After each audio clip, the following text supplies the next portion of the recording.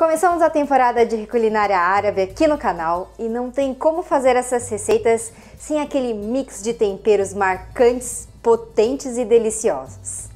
Existe a possibilidade de comprar esse tempero pronto no mercado.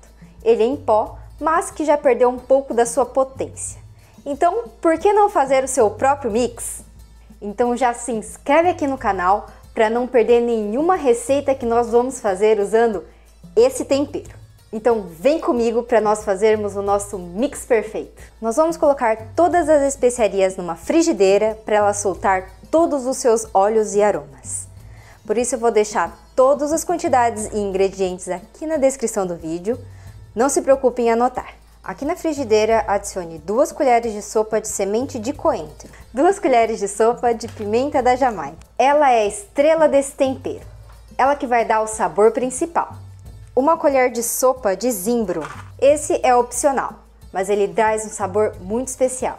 Uma colher de sopa de pimenta do reino preta e uma colher de chá de pimenta do reino branca. Essas duas se completam, uma picante e a outra aromática. Uma colher de chá de cominho em grão. E cuidado com o cominho, porque ele tem um sabor muito marcante. Meia canela em pau, noz moscada ralada na hora e uma unidade de cardamomo. Eu vou abrir ela aqui e usar só a sementinha. Ele é um dos temperos mais tradicionais da culinária árabe, por isso cuidado ao utilizar ele, porque senão pode sobrepor o sabor dos outros temperos. Lembrando que essa é uma sugestão de quantidades dos ingredientes.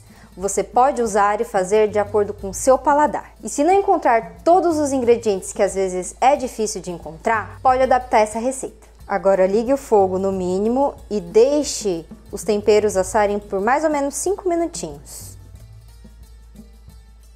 Bom, agora nós vamos triturar esses temperos. Eu vou usar um moedor de grãos, mas se você não tiver em casa, pode usar um pilão ou então um liquidificador na função pulsar, que também vai dar certo.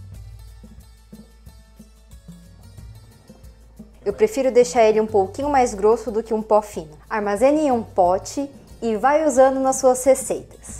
O ideal é usar esse tempero em até 3 meses, porque com o passar do tempo ele vai perdendo a sua potência. E aí, já estão ansiosos para saber que receitas nós vamos fazer usando esse tempero?